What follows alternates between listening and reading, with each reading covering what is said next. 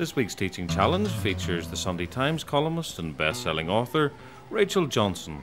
She's at Holland Park School in West London, Britain's first comprehensive, opened in 1958. I've brought not um, all my shopping from the Portobello Market, but every single word, well, give or take a few boring magazine articles I've ever published in hard copy form to show the kids. Am I allowed to say kids, or is that patronising these days? The kids, Rachel will be hoping not to patronise, are Year 8 English, normally under the tutelage of the school's head of English, Rachel Hare. Remember exactly what's happening this lesson. You're going to have a guest speaker coming through. It's really the most frightening thing I've ever done, and I've done a lot of quite scary things, like going on question time with cabinet ministers. And I didn't sleep last night. I lay awake thinking, help. And in the morning, I asked my teenagers what I should you know, and they just looked at me and they said, Mum, just don't try and be funny. Don't try and get down with the kids, okay? And none of them read newspapers, okay? Only the Neeks read newspapers, so forget it. Anyway, it was awful. So I'm really, I mean, this is easily the biggest challenge. Really, I'm not just saying that. This is the biggest challenge I've ever had. The subject of Rachel Johnson's class will be journalism, and before the I's are dotted and the T's crossed, she has a briefing session with Rachel Hare.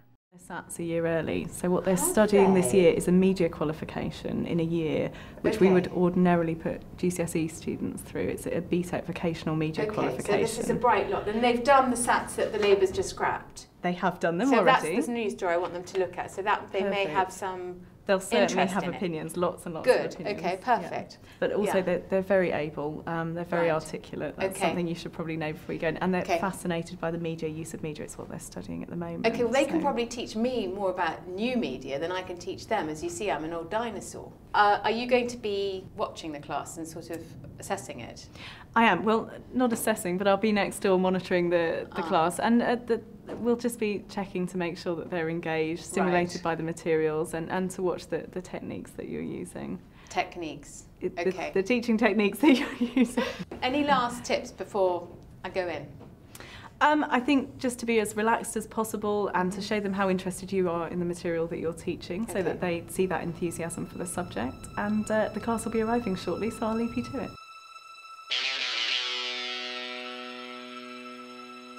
But will our novice teacher have to eat her well chosen words as the time arrives to turn theory into teaching practice?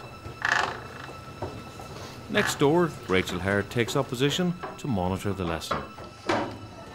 I'm Rachel Johnson and um, I'm a journalist. Can you hear me? Yeah. I also write novels, but I'm here to talk to you about journalism and, the, and a bit about the media today. I know that you're going to make the new media, and I'm, in a way, a representative of the old media, the print media. So I'm here to tell you a bit about getting the writing right and essentially about newspaper writing, which is an art. It's completely different from writer fiction writing. So I have always wanted to do this, hand out sheets to a class Hamza, would you like to hand these out? I tend to find with worksheets that it works better if you put them face down on the desk and talk about them before students start to read them, otherwise you lose their interest. What you've got there is a story from today's Guardian and one from today's Daily Mail. So what I want you to do very quickly is to read four paragraphs of the Guardian story and the whole of the Mail story. Who can summarise in one sentence what's happened today to me? Um, some guy called Ed Balls uh, told uh, Parliament his plans for sweeping changes to national testing systems. Okay. The government yesterday scrapped SATs testing for 14 year olds. You can almost summarise that story in six words. Right up top, if you're writing a news story, who, what, where, when, why. Which is the next most important paragraph after the first one? Anyone? Go on. The last paragraph, because it's the paragraph they read, they've read most recently. No. Any other thoughts on that? I think maybe the paragraph after the introduction, because it's when you start the story. The introduction is sort of is the summary. right answer.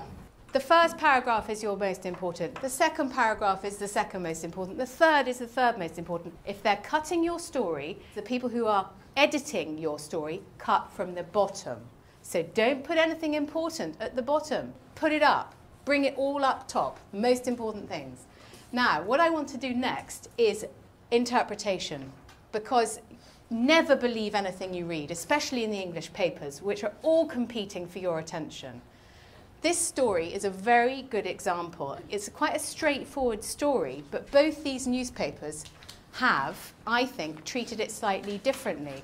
And I want you to look at and tell me what you think are maybe one or two words which suggest a different interpretation of what happened yesterday. You. The Mail story seems more biased because it says, even in the first paragraph, um, a humiliating U turn. Yes! Who else can find anything? Yep. I'm radically overhauled. I'm not, have, I'm not letting you have that. Can somebody else come up with something? The material that she's chosen is perfect. Um, she might think about the pace a little. One, there's one I think that's crying out. Yes, you. Um, fiasco. Yes, is the one I was looking for. Because it says to you, you know, the whole thing with SATs was a fiasco. It's basically saying the government's incompetent. Instead of telling you what happened, it's telling you the government's incompetent. It's quite difficult when you're starting out reading newspapers. You don't know you're actually being indoctrinated at the same time. But I think this t- shows very clearly that the British press is highly politicised. And if you don't have an Before moving on to her next exercise, Rachel has a timely warning for young journalists. Sued for a lot of money.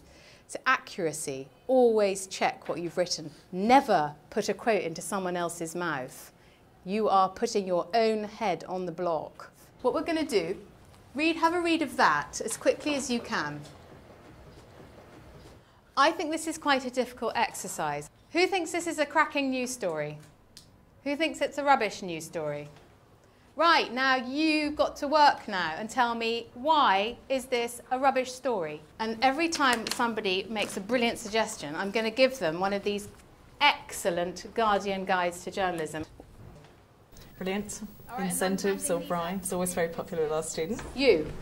Um, I don't think it's that good because when I was reading it, I didn't find it very clear, and I'm not sure if the bottom paragraph is the story. So if it is, maybe they can make it clearer by putting. Congratulations. links and stuff. You. Because at first I thought it was, I thought it was an adult or something, and it and it didn't really Yeah. tell you how they crashed. Right. So what, what is who, what, why, where, when? They haven't observed that rule that we talked about earlier. Motor parts. We don't want motor parts in that story. Go on. Lucky day. Well done. Daniel. Unfortunately. Well, it's an adverb, yeah. Unfortunately. Okay.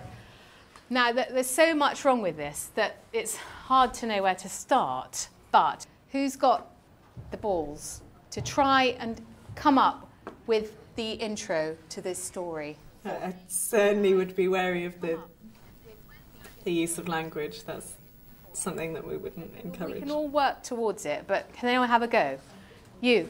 Two children have just left hospital after being hit by an HGV truck which veered off the road after a near collision with a police car. I would say that was 80%. Anyone else? Yep.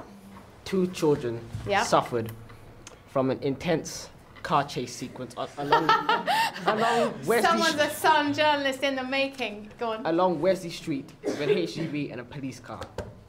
Okay, what do you think should come out of that? Intense car chase. Well, you see, it's inaccurate, isn't it? It wasn't terrible because they weren't hurt. In You've story- got to be accurate. Otherwise, write to- fiction. You have to appeal to these people. No. no. It's always tempting to exaggerate because you want to get the attention. You want your story to be read, but it's a bad way to go. I think this is a really hard exercise. It's a Guardian exercise that they set university students. So you're really up there. I'm incredibly impressed. As the end of the class approaches, Rachel gets out her gargantuan scrapbooks to show the class her wanted me to go into work. Foreign Office, but I failed.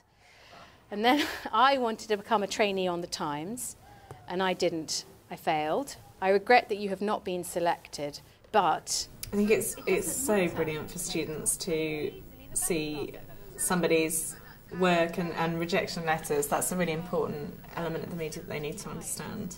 Guys, everyone back to your seats, and I'm going to leave the journalism guides here, okay, so you can just pick them up if you want them, because uh, I think you've got another class. I'd love you all to try and do some journalism, even if you don't do it as a profession, because it's a, it's a muscle, and you need to start using it now. Thanks a lot, and I've thoroughly enjoyed it, and get going. Start your writing. The class seemed to like it, but what's the verdict of the professional? Rachel goes next door to hear the comments of the school's head of English, Rachel Hare. Well done. How did you find it? Um, I don't know how you can do that for however many hours a day you do it for. Well, I four mean, what- times a day for an hour Four. and 15 minutes. Four yeah. hours.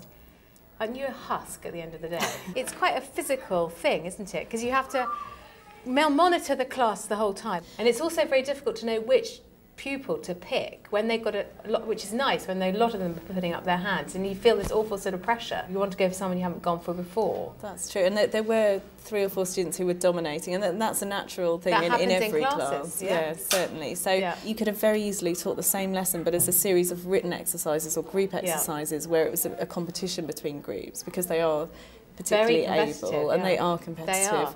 Um, and you might have found that you could then step back and monitor what's going on in the room rather than constantly engaging in one-to-one dialogues where you couldn't, Yes, couldn't I think that maybe I'm used to giving talks and things, and so I always sort of feel I've got to be there, the giving value. Mm. Students do enjoy it when you catch one another out, when you catch a student out, and they, they, they do like to, to see that Yeah. you're that there's an opportunity that you may ask them next and Yeah. to keep them on their toes that way Yeah. because I think there was a little bit too much freedom for them to, Yeah. to do what they wanted while they were there but they they were they were engaged by the lesson I think you would have been far more successful had you started with the ending of the lesson Right. and that they I, would so have I been broke my own rule, which was I gave I saved what was the most interesting thing for them till the end.